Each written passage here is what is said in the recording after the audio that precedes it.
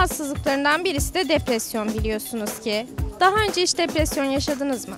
Tabii ki yaşadım. Ee, panik atak vardı işte onun tedavisini oldum. Şimdi iyi sayılırım. Daha önce hiç depresyona girdiniz mi? Evet. Peki neler hissettiniz, neler yaşadınız? Yavrum benim ömrüm şeyim hayatım film gibi çok anlatsam bitmez.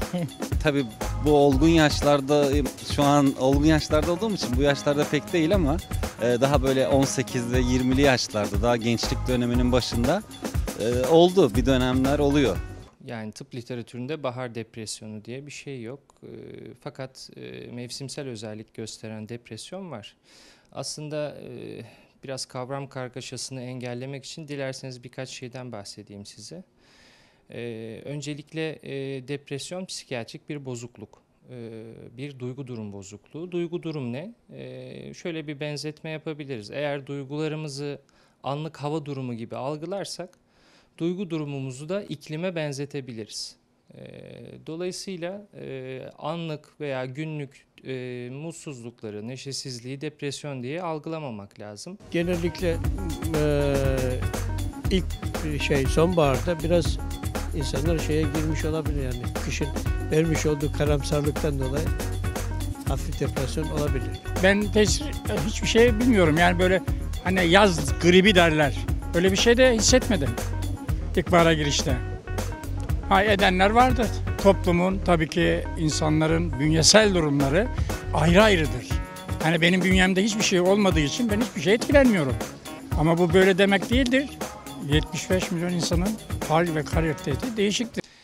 Diğer depresyonlarda olduğu gibi özellikle ruhsal olarak dediğim gibi bir duygu iklimi yani duygu durum bozukluklarında diğer duyguları inkar eden, yaslayan veya hissetmemizi engelleyen bir durum var. Depresyonda da kendimizi neşeli, mutlu, istekli hissedemiyoruz. Dolayısıyla mevsimsel depresyonda da mutsuzluk, karamsarlık, neşesizlik, yorgunluk, müphem ağrılar, uyku iştah değişiklikleri bunlar sık karşılaştığımız bulgular. Ee, öte yandan eğer depresyon ağır ve derinse e, biz psikiyatrların en çok korktuğu ölüm düşüncesi, intihar düşünceleri veya girişimleri olabilir.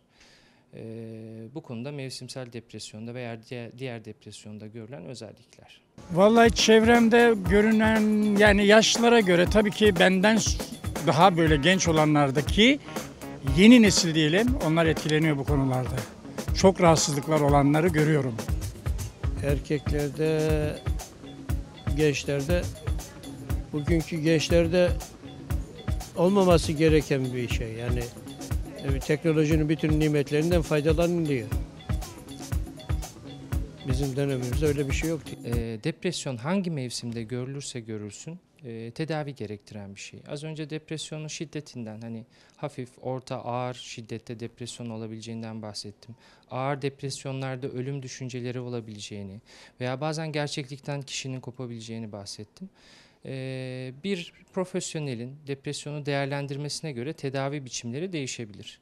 E, en sık kullanılan tedavi tabii ki ilaç tedavisi. Fakat bazen ilaç tedavisi tek başına faydalı olmuyor. Eşlik eden kombinasyon olarak psikoterapiler birlikte uygulanabilir.